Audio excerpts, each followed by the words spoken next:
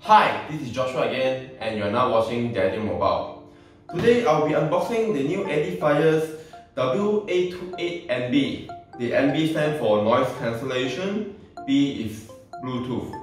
This is the uh, new version or a more budget version of the more flagship Edifier W860NB which I have reviewed uh, a few months ago. You can check out the reviews on our website. So today I'll be talking more about on the uh, ANC on this headphone at the price of RM399. It's a mid-range headphone that gives you uh, active noise cancellation and as well Bluetooth 5.0.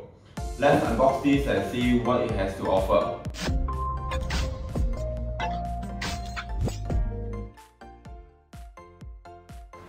So this is the box of the Edifier W828NB. Let's open it up and see what's inside.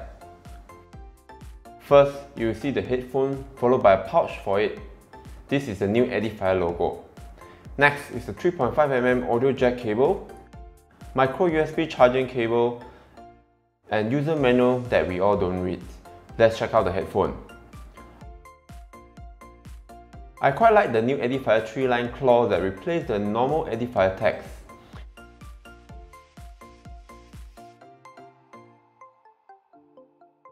The earphone can be fold just like the W820BT.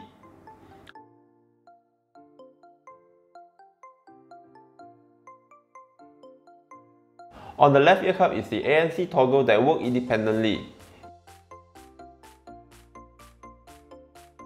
It also has a 3.5mm audio jack if your headphone out of juice. It has multi-direction swivel ear cups.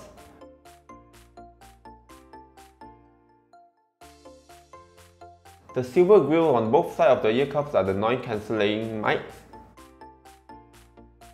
The bottom here is the microphone, micro USB for charging, and the audio controller buttons.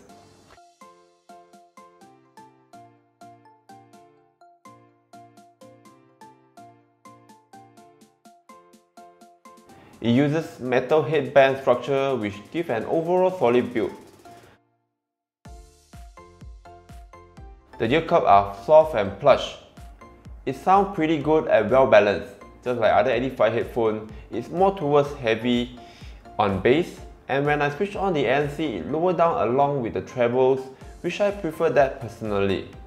I do notice that the ANC seems has improved over the W860NB with lesser white noise pollution. So what do you think about this new headphone? Do leave your comment down below. A comprehensive review will be on our website very soon. Do follow us on social media, YouTube, Facebook and Instagram.